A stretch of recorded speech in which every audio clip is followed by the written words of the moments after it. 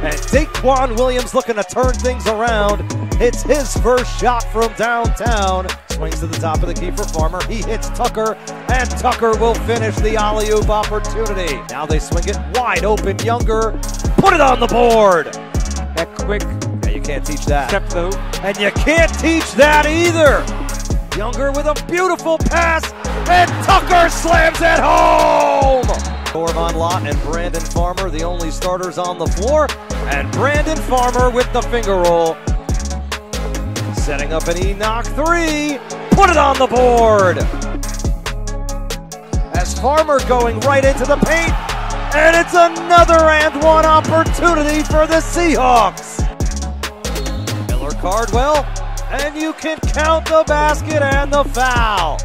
Williams, Euro step, it's good. Farmer, Farmer with a beautiful entry pass, and Tucker will finish once again.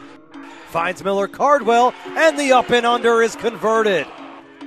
But Enoch trying to respond, uses the window and gets it to go. The basketball extremely well.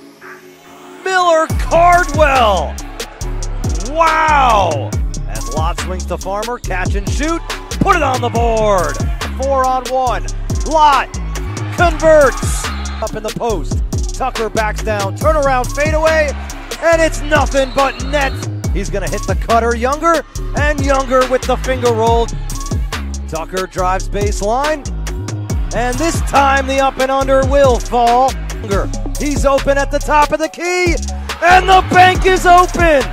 Ladies and gentlemen, Keiser University will defeat Webber by a final of 95 to 89 as the Seahawks take the victory in overtime, defeating the number one seed in the Sun Conference.